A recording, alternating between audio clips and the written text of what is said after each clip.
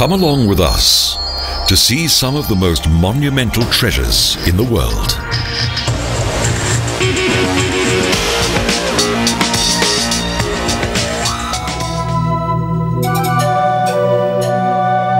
High in the Peruvian Andes, there is a place of sun worship and mysterious ritual, Machu Picchu.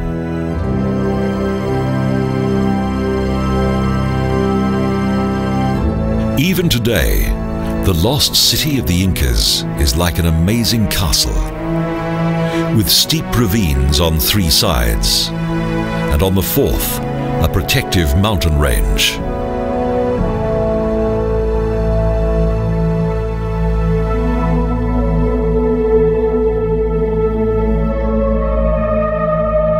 The warm light of the first rays of sunshine penetrate through the evening mist, and, as with each morning, the mysterious, weather-beaten ruined city rises once again.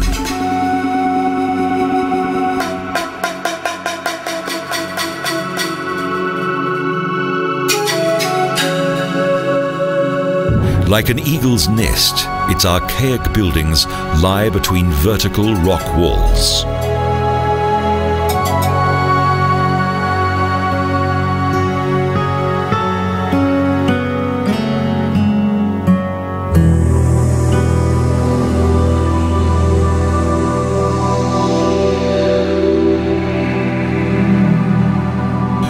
Entrances of sculptured stone blocks, guardhouses appear. Walls and embankments seem to defend the inner ruins, with its temples and places of cultural interest, from unwelcome guests.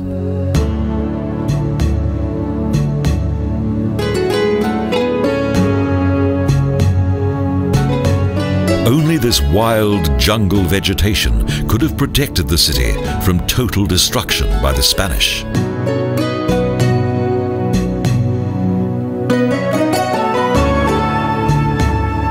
From seamless stone blocks, it seems that even today, 500 years after being built, its flourishing life of yesteryear wants to reveal itself yet again.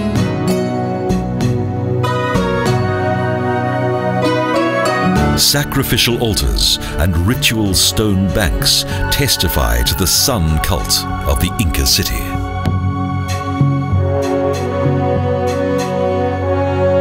In full view of this majestic mountainous world, it was here that the so-called Sun Virgins carried out holy rituals and dances, and where human sacrifices were brought to silence the gods. The mist-clad mountain summits look down on the mysterious city, discovered in 1911.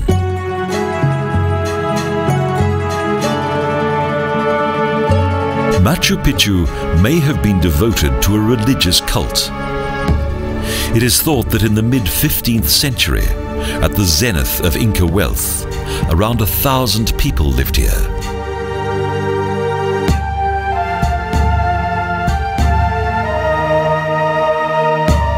Planting and harvesting depended on the moon's cycle, to which the moon goddess Mama Kilia paid homage.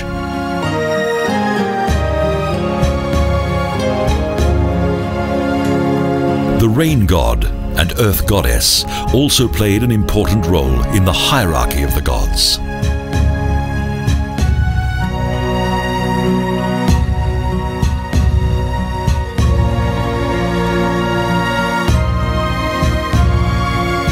As no one could think of another name for this lost city, it was named after the mountain located next to it, Machu Picchu, or Ancient Mountain Peak.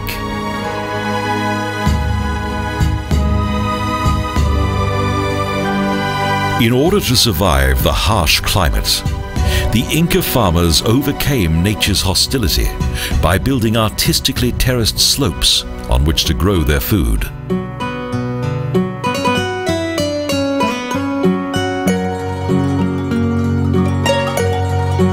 Inca's times, the hardy llama was used as both a pet and a farm animal. To the present, these llamas manage to find nourishing blades of grass from the scant earth.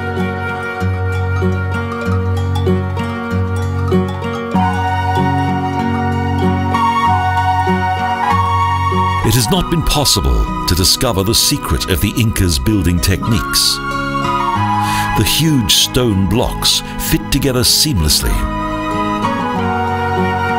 Due to the huge quantity of building materials used and amazing construction techniques, it's not surprising that the creation of this city has always been associated with extraterrestrial influences.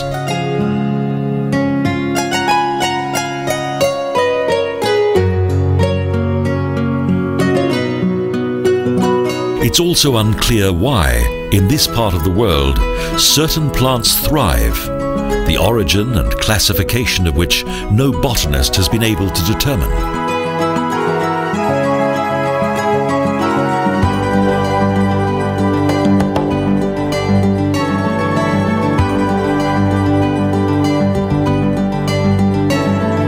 The trapeze-shaped opening of the three-windowed temple is also a mystery for archaeologists. This kind of window opening is unique to Machu Picchu.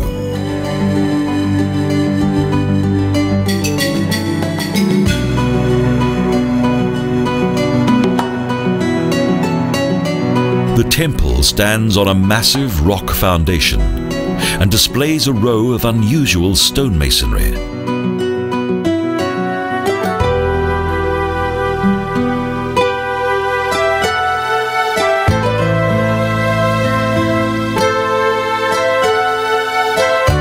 Terrace-styled hills of the city plateaus are linked via stone steps.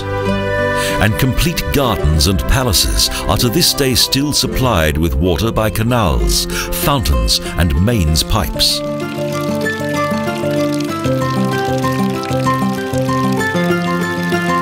Splashing, bubbling water from underground springs flows as tiny waterfalls into stone basins.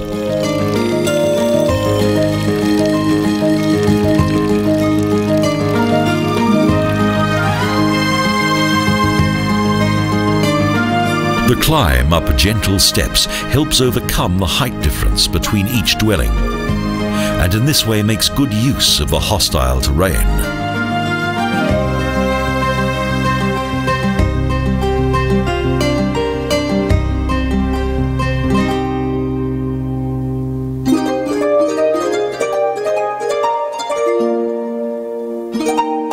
Roots of exotic plants and trees harmoniously appear through the walls and steps of these steep slopes. Mosaic-type boulders prevent them from slippage.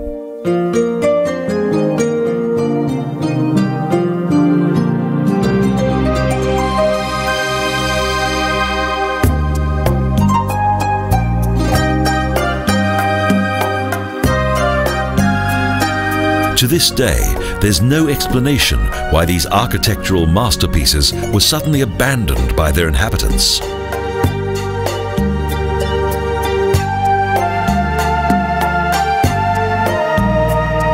Even now, this holy place can be accessed only by the rocky, mountainous paths built by its former inhabitants.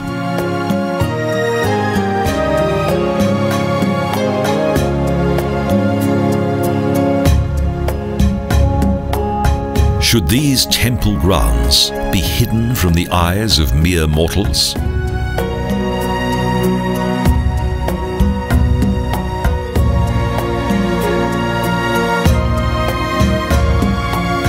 The mysterious world of Machu Picchu will no doubt remain one of the unsolved mysteries of this planet.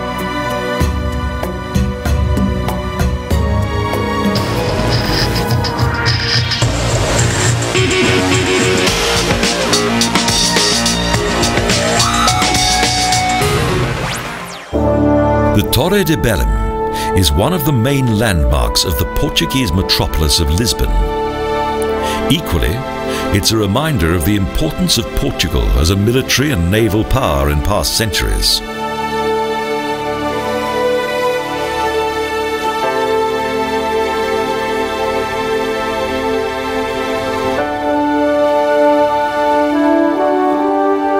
Hundreds of sea voyages to India and Africa embarked from here, the mouth of the river Tejo, spreading word of Portugal's newfound glory around the world.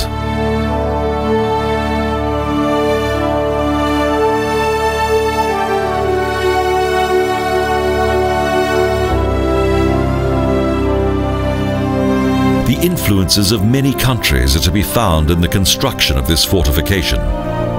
Byzantine, Venetian, and also Arabian, even Indian building elements combine in the Torre de Belem in monumental Manuelism style.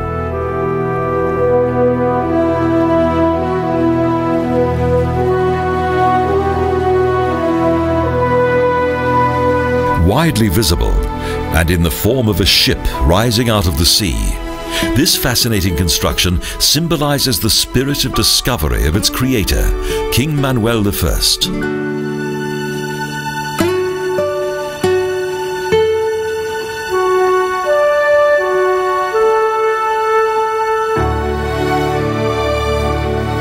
The tower was originally built on a river island, but various natural and human alterations to the riverbed have now caused it to be exposed on dry land.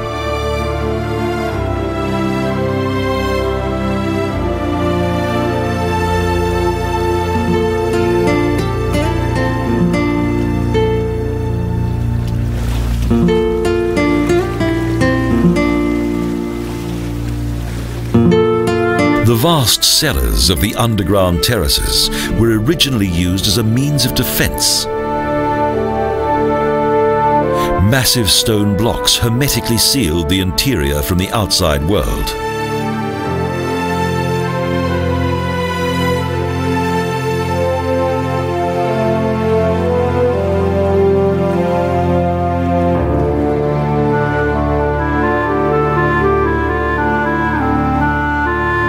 Order to protect the approaches to Lisbon, through embrasures facing the open sea, cannons pointed threateningly towards any advancing foe.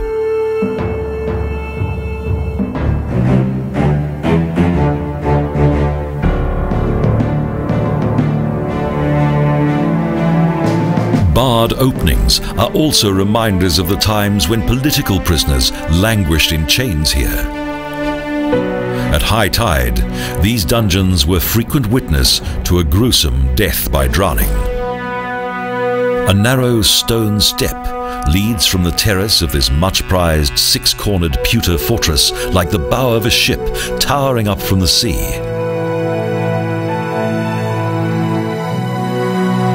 This monument was built to commemorate the 500th day of the death of Henry the Sailor, and is also a reminder of Portugal's naval power.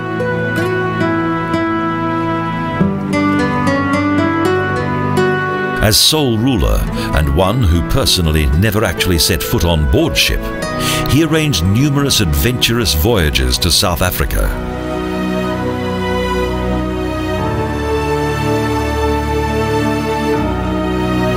The buildings are reminiscent of Mohammedan turbans which crown the roof of the four-story tower.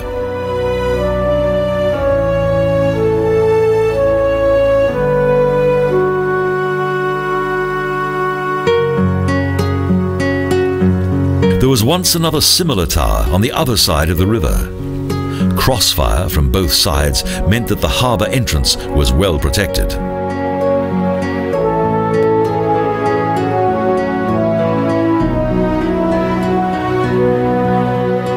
Grotesque figures decorate the external walls, and heavy towing machinery indicates the power required to operate the drawbridge.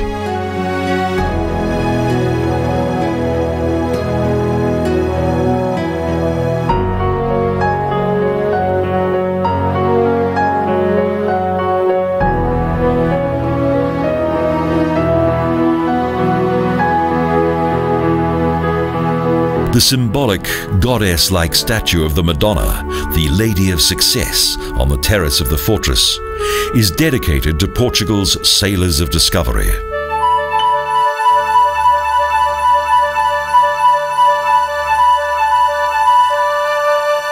A typical Venetian element is portrayed by the pillar-decorated balconies. The cross of the Christ Knights Order and the Portuguese royal emblem emphasize the significance of this building.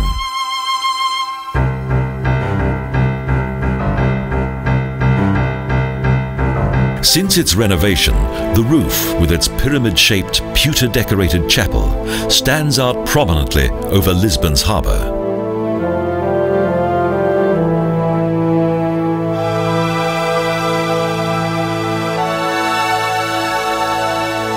Here the discoverer Vasco da Gama yearned for distant lands and was inspired for his major voyage to India. The tower was put to good use. The armory was on the second floor. The third floor contained a royal reception room. And the fourth was both a kitchen and dining room.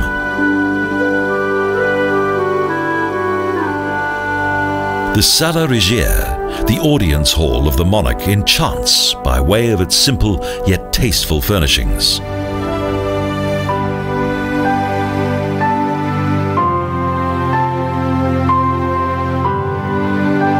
A symbol of royal power, the floor and ceiling layout and the figurative and ornamental decor of all elements of Manuelist authority are clearly demonstrated.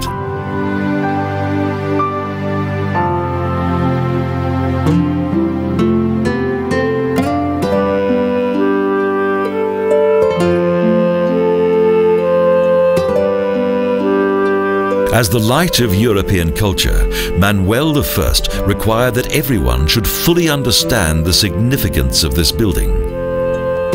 Artistic influences from each corner of the world blend together in a charming ensemble.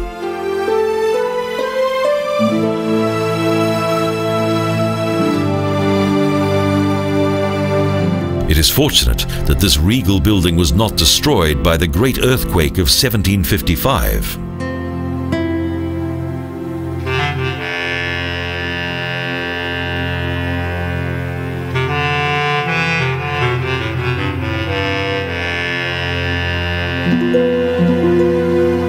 The Torre de Belém is a monument built in a country that provided it with the means to be the starting point for many important voyages of discovery.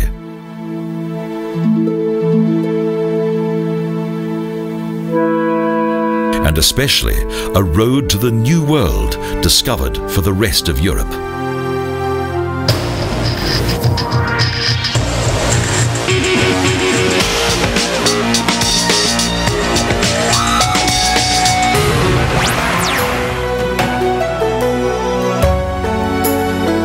The famous discoverer Marco Polo called the Chinese city of Suzhou the Venice of the East.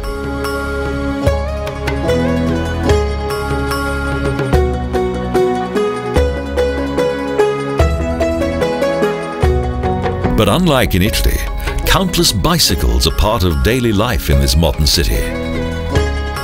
However, Suzhou is more well known for its gardens.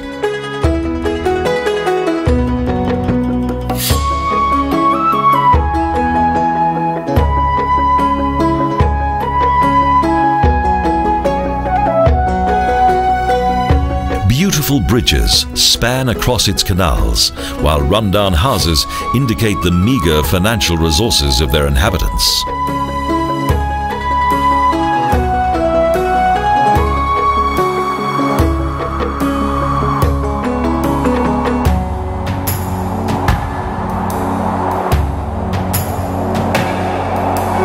The city's more impressive and elegant buildings date back to Suzhou's long and glorious past such as the town gate and wall of Pan Men.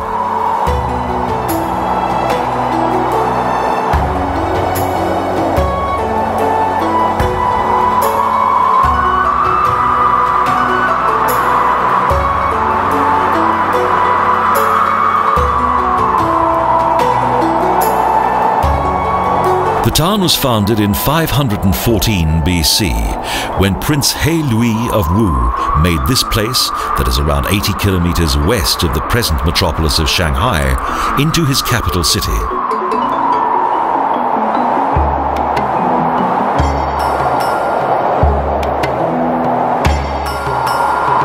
Above a wide 24 kilometre long wall, a path leads to numerous interesting locations and also picturesque views across the water.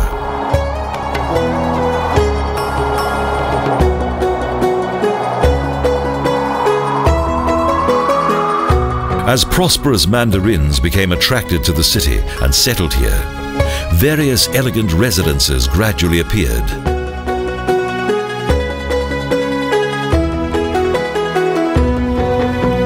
Garden of Politics for the Simple Man is one of the four most popular gardens in China, and it attracts a large number of visitors.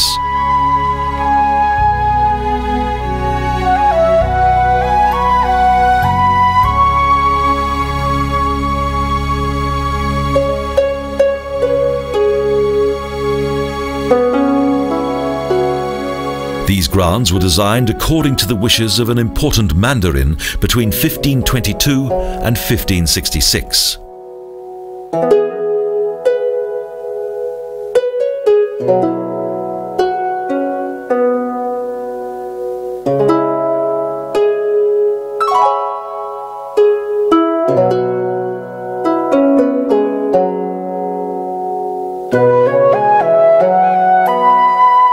They are divided into three large areas. There is a guest's residence, a large central garden, and also another smaller garden.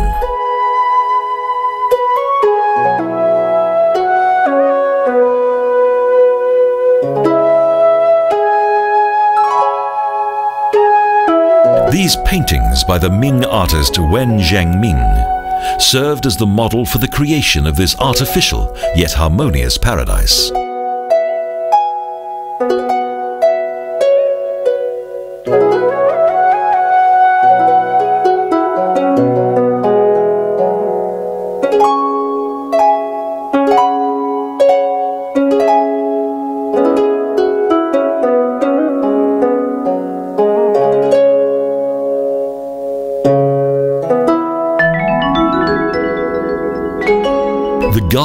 The Master of the Nets is somewhat smaller.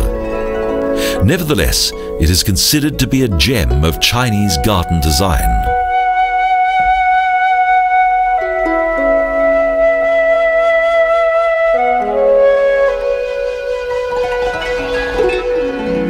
The origin of this garden dates back to the 12th century.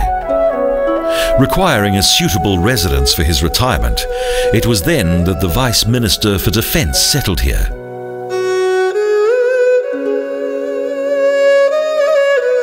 Decorated with the finest timber, the residence interior was created later because the garden was in a poor state of repair.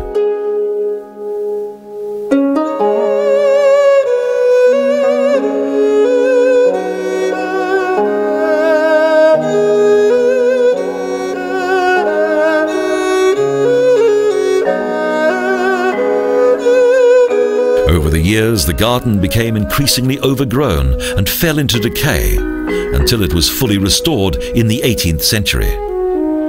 It was subsequently taken over by the aristocracy.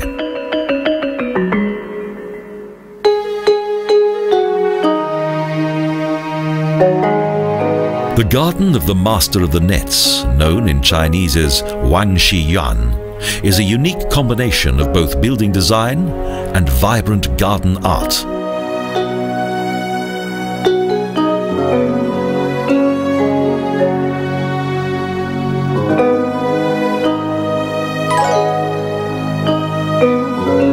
Resounding name of this garden residence stemmed from its original name, the Hermit Fisherman's Egg.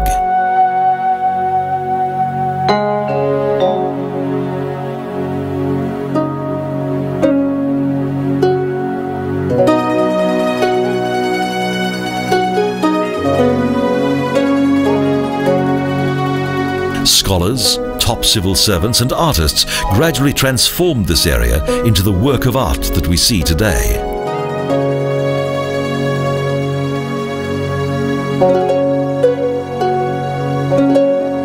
Although the garden covers an area of only 5,000 square meters, its ingenious architecture gives an amazing impression of open space.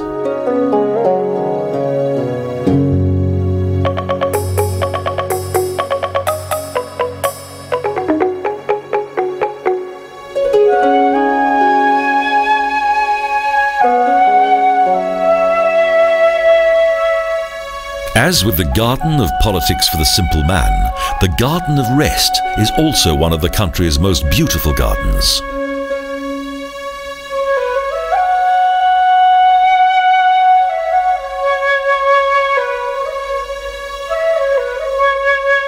Abbot Zhu Taishi founded this garden in the 16th century. At that time, he planned to divide the area into both an eastern and a western section.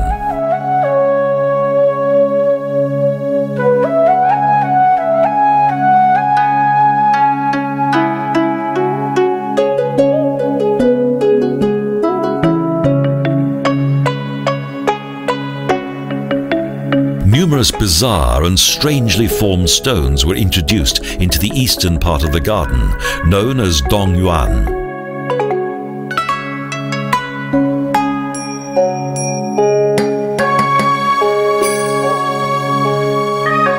The garden gradually changed ownership until an important minister of the Manchu regime acquired it in 1876.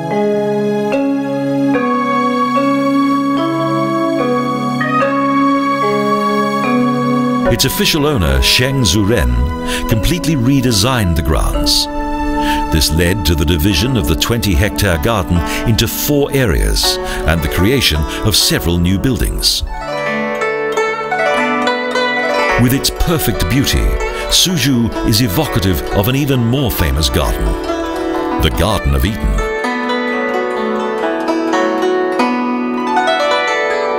The Chinese garden is full of complex history and art that manifests itself as a sanctuary of simple harmony and peace.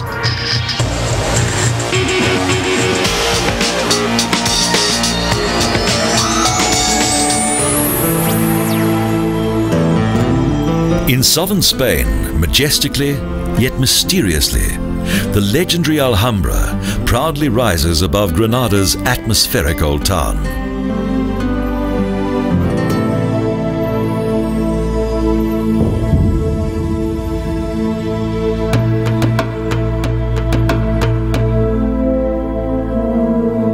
Curiously, the history of the Alhambra began with the gradual decline of the Islamic empire of the Moorish Al-Andalus.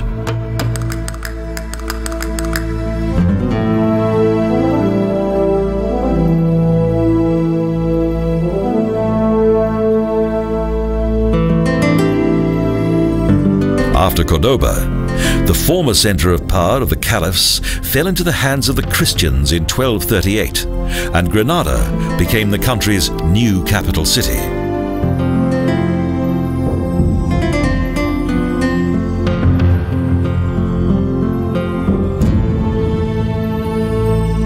Muhammad I ordered the construction of the Alhambra's massive walls and 24 watchtowers above the remains of a comparatively modest fortress.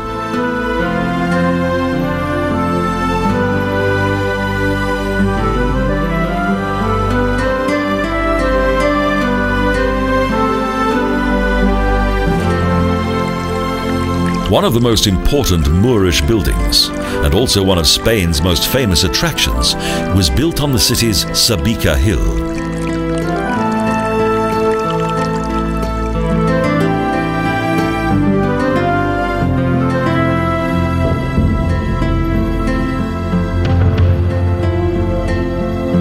In addition to splendid Islamic architecture, in the Christian Alhambra, Renaissance design is clearly visible.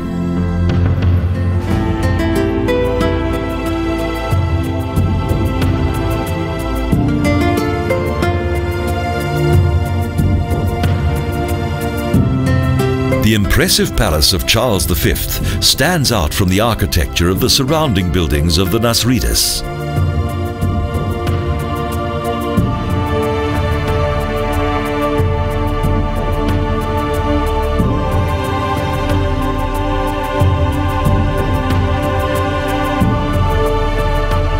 It is of great symbolic character. Some of its bas-reliefs contain a number of amorous fertility rites. These would have been strictly forbidden in Moorish art.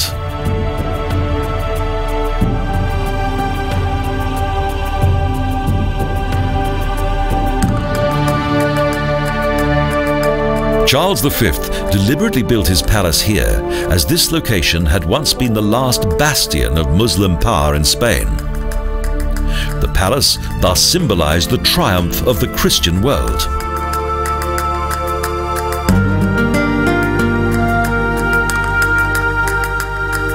In spite of its imposing appearance, construction of the Renaissance palace remained incomplete. In 1568, a revolt brought its construction to an end. In addition to the external splendor of the Christian palace, the full beauty of its Moorish architecture is only fully revealed by exploring the Alhambra's glorious interior.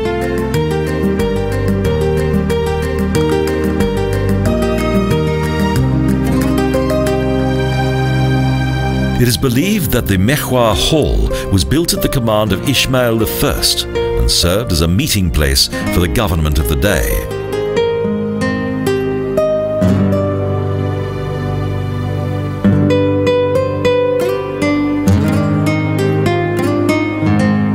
numerous new building programs and several architectural embellishments to the Alhambra palaces continued right up until the 15th century.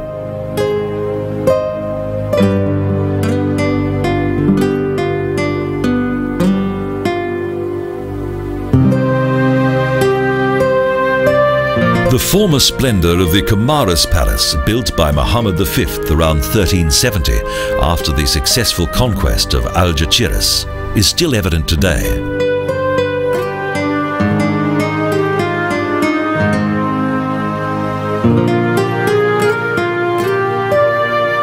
The interaction of space, light and colour is magical and also gives a splendid impression of the remarkable artistry and creative skills of the Moors.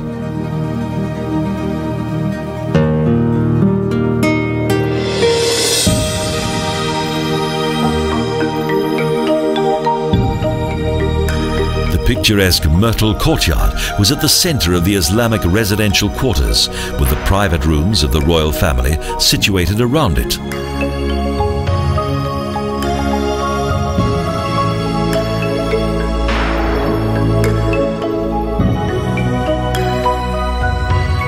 The reflection of the surrounding buildings on the surface of the water was designed to enhance still further the beautiful architecture.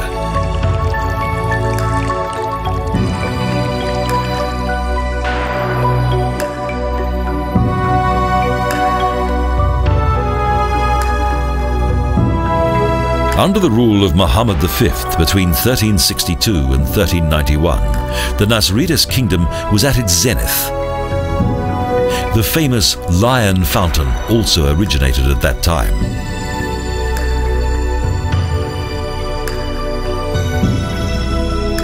Although nothing remains of its original gilding, the fountain and its marble lions still radiate elegance and dignity.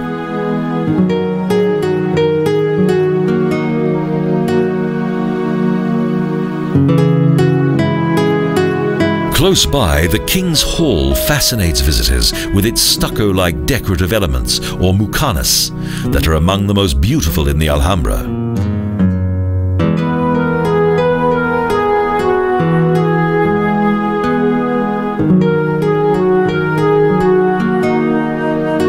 But following the conquest of Granada by the Catholic kings, the cultural and architectural treasures of the Moors were soon forgotten.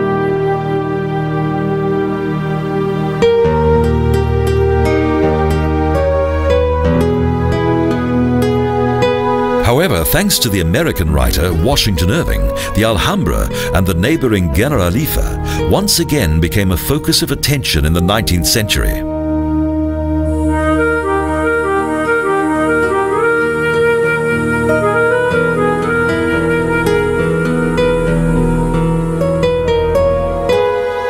The grounds of the Generalife Palace were originally designed as an agricultural area.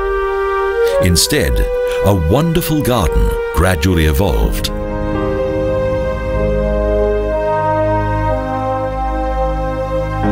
These beautifully laid out gardens must once have been a veritable paradise on earth and a dream come true.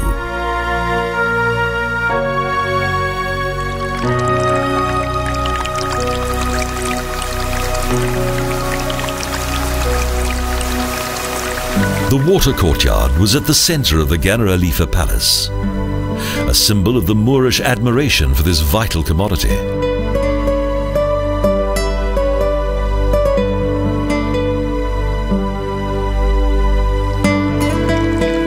The exquisite beauty of these gardens has inspired numerous Oriental and Western writers and poets.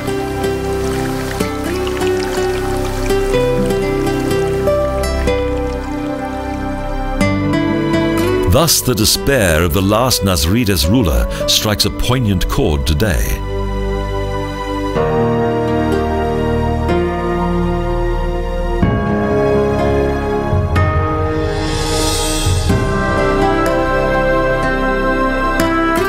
For according to legend, when he was forced to abandon his palace to the Christian armies without a fight, his eyes filled with tears as he glanced back at his beloved Alhambra.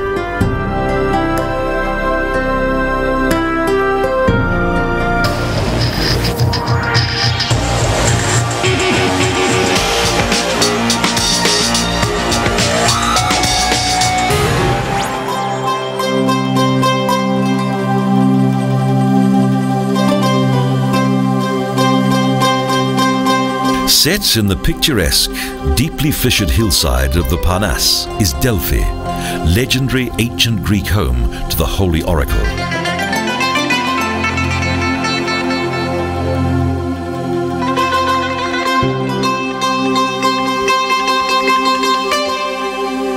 Delphi is the place where more than 2,000 years ago the Greeks sought spiritual advice from the god Apollo, whom they believed spoke to them by way of an oracle.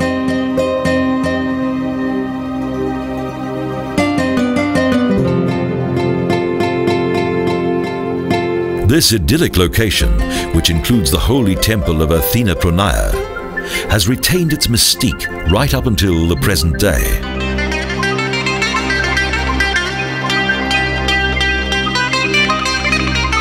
The first archaeological excavations began here in 1832.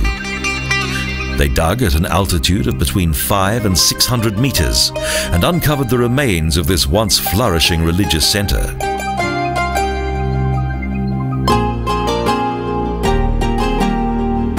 A female priest by the name of Pythia allowed herself to be inspired by intoxicating fumes which emanated from a crack in the earth and then transmitted Apollo's divine instructions.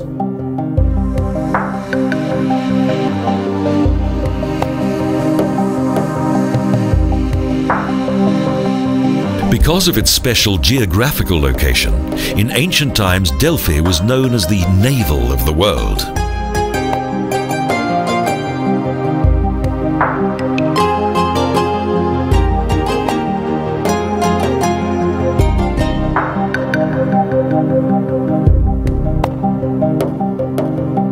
The hillsides of the temple area, a breathtaking view opens up over the valley of the river Plistus.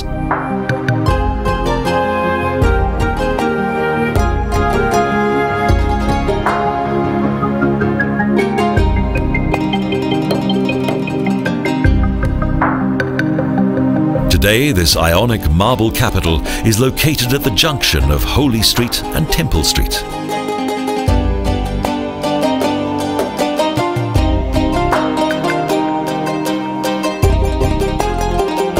The well-known and much worshipped oracle attracted so many people that during the 7th century BC, Delphi became the cultural and religious center of ancient Greece.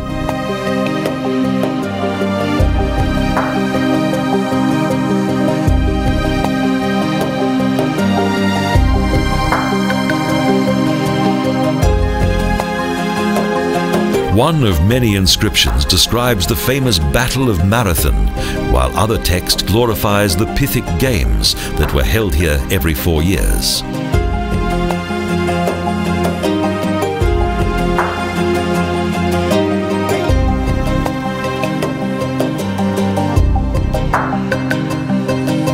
Several monuments were located along the northern side of the square in front of the temple. Originally, an equestrian statue of King Prusias was situated on this pillar.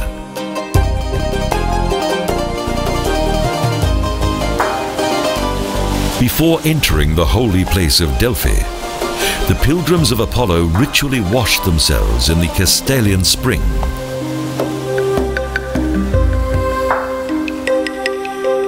This magnificent amphitheatre was built in the 4th century BC it is one of the most well-preserved amphitheatres in Greece and can hold up to 5,000 spectators.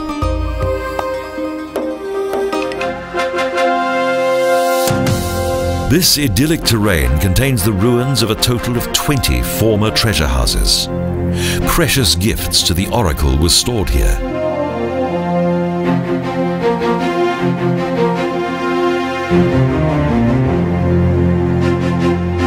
The Delphi Museum contains a fascinating collection of archaeological finds and valuable works of art.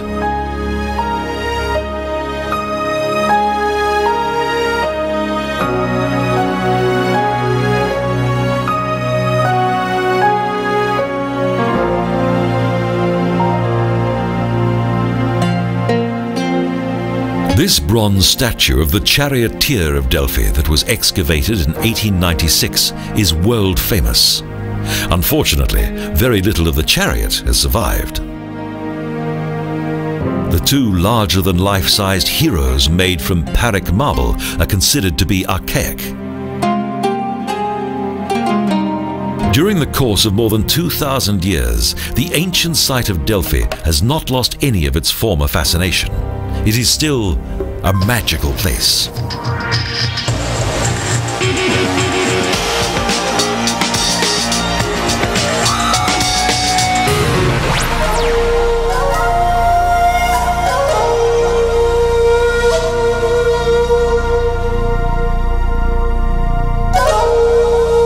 Sukhothai, Dawn of Happiness. This, the name of the first capital of Thailand, marked the beginning of a new epoch.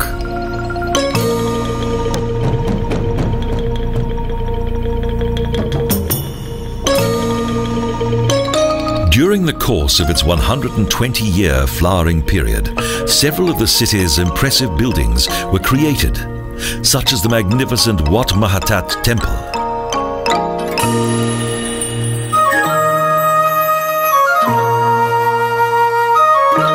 Two huge nine-meter-high statues of the standing Buddha flank the central building of the largest and most important Sukhothai temple.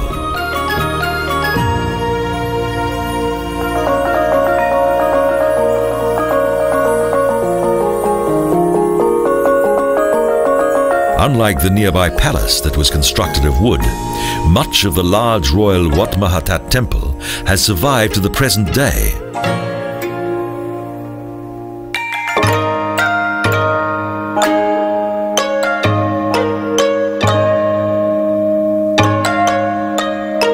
A long line of worshippers that contains a total of 40 figures on each side decorates the lower section of a tall pedestal within the central area of the sanctuary.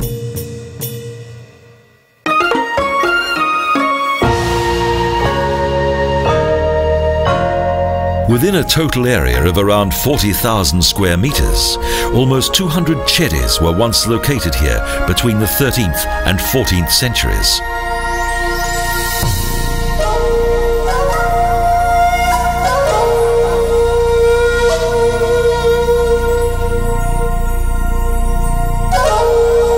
Even today, the Wat Mahathat temple is a symbol of the heyday of the legendary capital of Sukhothai in its former grandeur.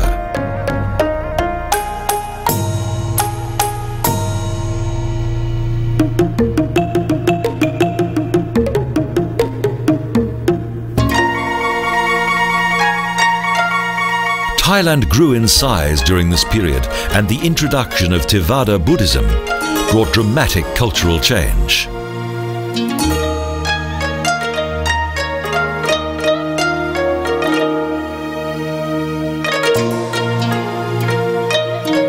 The zenith of Sukhothai was a calm and peaceful period in Thailand's colourful history.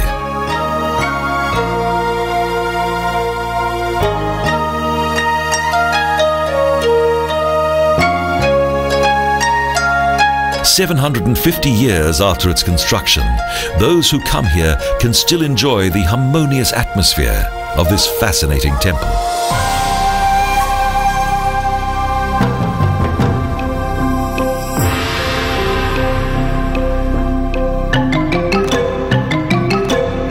Some areas of the sanctuary still show signs of Khmer architecture. They mark the period of transition of the new capital.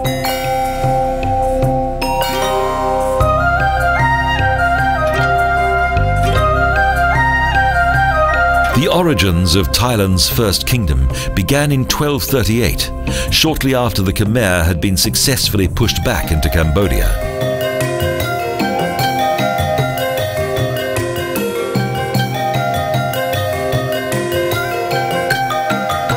But it was to be almost a century later that the city reached its cultural zenith.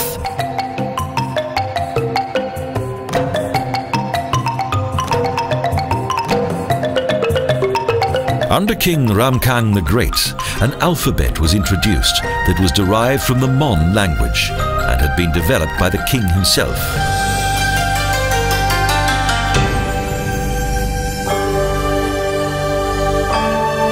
The sanctuary in the southwest of Wat Sri Sawai dates back to the founding of Sukhothai and was probably a strictly Hindu temple.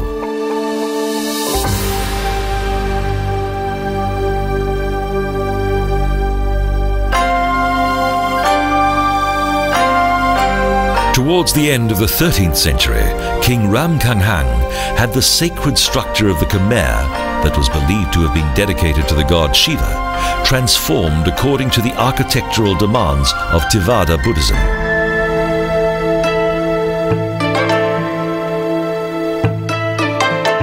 Beyond the old city walls is the fascinating Wat Si Chum temple.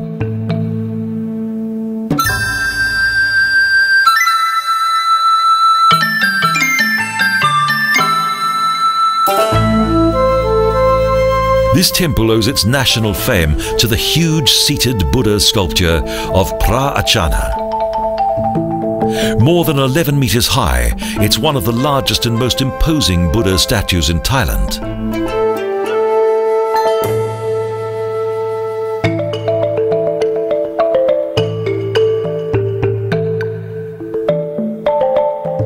Believed that the origin of the mighty Buddha of Wat Si Chum dates back to the second half of the 14th century.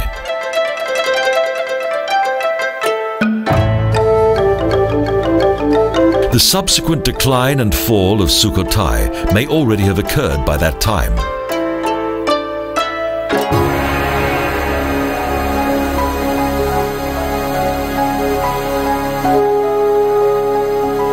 Well-preserved chedi of Sinhalese design is the main landmark of Wat Phra Sri. Another sanctuary well worth a visit and situated north of the royal temple. In addition to several smaller chedis, there are also the ruins of a large meeting hall on a small temple island.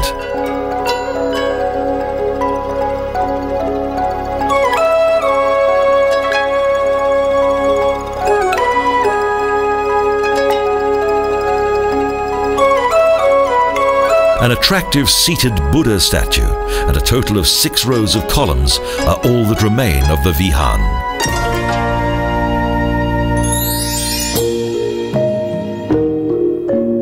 A bronze statue is dedicated to the founder of the glamorous Sukhothai period, King Ramkhamhaeng, close to the entrance area.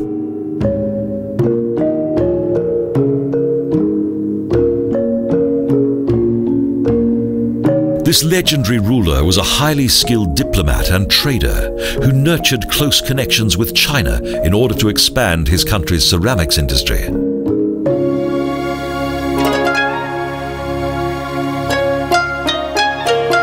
Only a few sections of a large moat remain of the former king's residence. Yet the original dimensions of the palace are still quite easy to discern.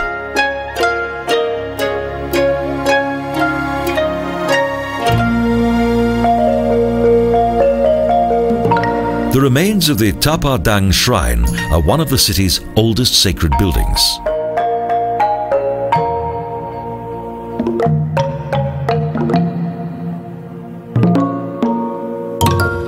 In 1376, Sukhothai was forced to acknowledge the sovereignty of another Thai metropolis. Power now lay in the hands of Ayutthaya,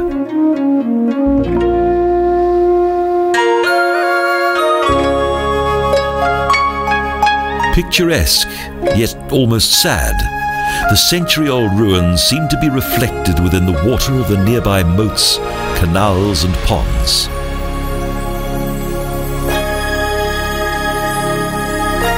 Yearning for a bygone time when the area was full of buildings that in turn were full of life. This world contains numerous monumental treasures. Although many have already been revealed, how many more remain to be discovered? Today, it is the responsibility of UNESCO to protect these magnificent monuments.